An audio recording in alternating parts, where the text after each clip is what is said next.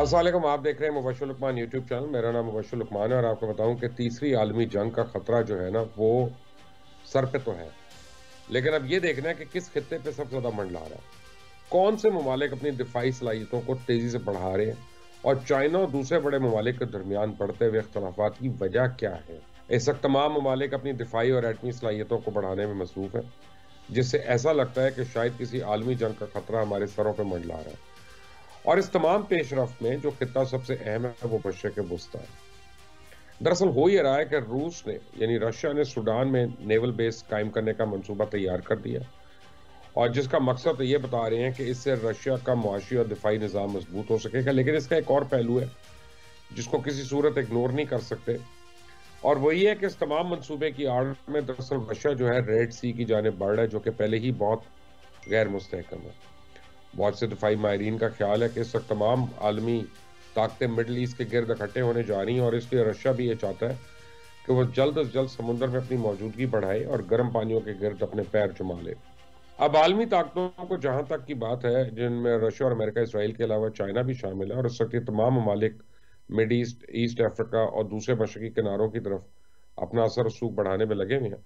China अपनी पहली overseas naval base की बुनियाद ईस्ट अफ्रीका में रख चुका है। जबकि अमेरिका ने अभी इस जगह पे अपनी नेवल बेस कायम की हुई है और इसके बाद टर्की भी इस जंग में पीछे नहीं है और वो भी शुमाली बंदरगाह की तरफ़ अपने कदम बढ़ाने शुरू कर चुका है। इससे रशिया का सूडान और फिर रेड सी में जाने का मतलब ये है कि यहाँ से हर किस्म की समुद्री हरकत और सकनात को आराम से मॉनिटर कर सके। जितने भी अमेरिकन वॉरशिप्स रेड सी में हैं, अरेबियन सी में मौजूद हैं, या आने वाले दिनों में वहाँ जाएँगे, वो स्वेस कनाल को टच करके जाएँगे। और रशिया की इस नेवल बेस पर न्यूक्लियर वॉरशिप्स सबमरीन्स और सैकड़ों की तादाद में फौजी भी तैनात होंगे, जो कि इस तमाम कार्रवाई पे बड़ी आसानी से नज़र रख सकते हैं। वैसे तो रशिया और सूडान के दरमियान तय पाने वाले माहे में ये बात लिखी गई है कि रशिया के इस नेवल बेस का मकसद खत्े में अमन अमान की सूरत हाल को बरकरार रखना और किसी दूसरे मुल्क रास्ते में कोई रुकावट खड़ी नहीं करना। यहाँ सिर्फ़ रशिया और उसकी आर्मी के बेड़े आराम करने के लिए रुकेंगे और मैकेनिकल काम के लिए बेड़े लाए जाएँगे और इस नेवल बेस में एक वक्त में सिर्फ़ चार न्यूक्लियर वॉरशिप्स मौजूद होंगे। लेकिन सोचने की बात है कि स्पेस की इजाज़त के बदले में रशिया, सूडान को मिलिट्री हथियार और दूसरी दवाई चीज़ों के अलावा एयर डिफेंस सिस्टम भी मुफ़्त फराम कर रहा है। और इससे सूडान की दिफाई ताकत में इजाफा तो होगा, लेकिन साथ ही वो रूस पे बहुत ज़्यादा डिपेंडेंट हो जाएगा। अब दूसरी जानब सऊदी अरेबिया और के वज़ीर खारजा, आदिल जबीर ने अपने एक हालिया इंटरव्यू में कहा है कि अगर ईरान जौहरी हथियार बनाने में कामयाबी हासिल कर लेता है तो सऊदी अरेबिया के पास भी जौहरी हथियार हासिल करने का ऑप्शन मौजूद है। सऊदी अरेबिया अपने लोगों और खत्े के और इलाके के तहफ़ के लिए हर मुमकिन कदम उठाएगा। प्रेसिडेंट ट्रंप के इंतबात में शिकस्त के बाद से सऊदी हुकाम मुसलसल इस बारे में आवाज़ उठा रहे हैं। दरअसल ईरान के पाकिस्तान और चाइना के साथ बढ़ते हुए ताल्लुक सऊदी अरेबिया के लिए खतरा बने हुए हैं। और सऊदी अरेबिया को यह डर है कि हथियारों से लेस ये दोनों ममालिक अगर ईरान को वो टेक्निकल सपोर्ट फराम करते हैं, जिससे ईरान अपने एटमी प्रोग्राम को एक फाइनल शक्ल दे देता है तो सऊदी अरेबिया के लिए सलामती के नए खतरा पैदा हो जाएँगे। क्योंकि सऊदी अरेबिया और ईरान मशरक वस्ती में एक दूसरे के पुराने हरीफ हैं और एक दूसरे के खिलाफ शाम, यमन और समेत तमाम मुख्तलि ममालिक जो है, वहाँ पर इनकी प्रॉक्सी वॉर्स हो रही हैं।